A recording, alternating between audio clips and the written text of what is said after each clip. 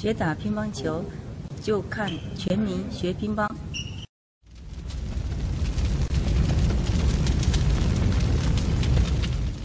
本集由乒乓球第一教学网站乒乓网制作播出。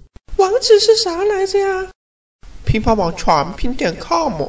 全民学乒乓公开课开课了！乒乓球国家高级教练，一对一免费技术指导，名额有限哦，赶紧上乒乓网报名吧。D O N O R 一二三的这位学员呢，他的技术水平也还是不错的。我看了一下啊，正手攻球，包括正手拉球啊，反手技术都还不错。啊，还是之前我们强调的这个重心的问题啊，包括这个手臂的和身体的这个协调协调性的问题啊，还是感觉这个手跟脚啊，它不是一个整体啊，手是手，脚是脚，它转的时候呢，它可它也许在刻意的去转动脚下，但是呢，它和身体的配合并不是那么协调。所以给人感觉看起来就有点怪怪的。他打球的时候，这样推的很多啊，这个手臂推的很多，但是真正转腰、转腰的这个力量，他没有用在手上面啊，他是在脚下面蹬转。我们啊，我们脚下的蹬转是为了把我们这个脚下的力量传导到我们的上半身的这个肢体当中。如果你只只是去蹬脚，但是你的力量依然在下面，没有。传导到上面来，没有靠这个腰传导到上面来，那你的蹬转做的就是无用功啊，没有任何价值。所以我们一直强调的，我们的这个步伐的训练，不是为了去练步伐而练步伐，它步伐是为了配合你动作本身。有时候我们这个步伐其实很简单，单步、跨步、并步、跳步，它其实都是大同小异的啊，无非是这个跨步的。蹬转的这个距离长短的啊差别，是吧？再就交叉步，其实步伐也就两种，一个是交叉啊，一个是跨。跨只是分跨的距离长和短的区别而已啊。所以说我们这个步伐你不要刻意的去学它，对吧？你把这个真正的身体的配合好了啊，经常的去练习多球，把这个脚下的这个动作跑灵活了，是吧？启动快啊。为什么我们看这个专业运动员打球啊？他这个脚下就像安了这个弹簧一样的，是吧？他总是时刻的保持这个身体的这个弹性啊，他不是为了脚下弹性，他是为了你身体上半身肢体啊快速的启动，包括你脚下的这个弹性足了，你可以快速的跨步出去啊，大角度的球，那去抢拉这些大角度的球啊，这是这个步伐的核心。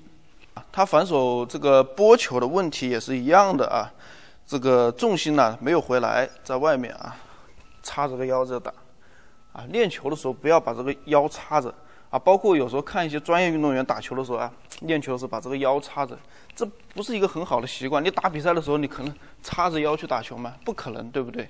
你一定要把这个手，为什么这个左手要讲究它放松，放在身体腹前？它是把你的重心放在中间，你这样一插。你的这个中心不是全到了右边吗？那全压到右边了，对吧？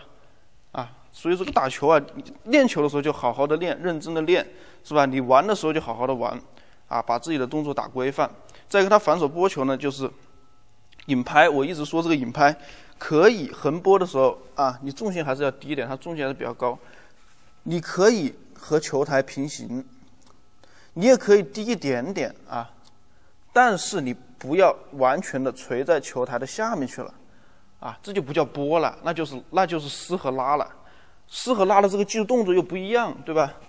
这个摩擦的这个手腕的动作又不一样，所以你不要搞混了。你推就好好的啊，这个拨球就好好的去拨，高于球台台面，去击打成分多一点。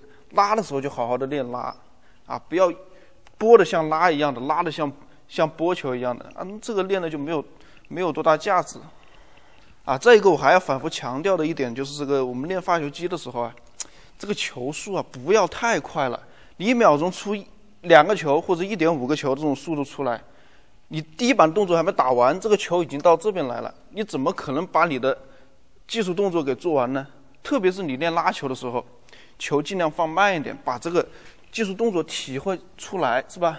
重心下来，你如果说球速快了，你重心下来，你来得及第二板吗？对吧？你练球你来得及第二板吗？你就会强行的让自己重心变高，手臂抬高，啊去这样拉，那就跟攻球一样了，没有质量了。所以这个球速啊，我一直强调的是，刚开始练把球速放慢，等你练熟了啊，就去对打。发球机是用来固定我们的这个动作的，是用来动力定型的，它不是来说像对练一样的去打打这个球速。因为发球机它发出来的球啊，毕竟它没有人发出来的这个球这么的符合这个物理规则。啊，你发球机如果去连续性的去练多了，它顶多是起到一个动力定型的作用。如果你是错误的动作反复的在发球机上面打，那也会形成错误动作的动力定型。那以后你再想改的话，就非常的困难。打开微信扫一扫，关注乒乓网微信公共平台吧。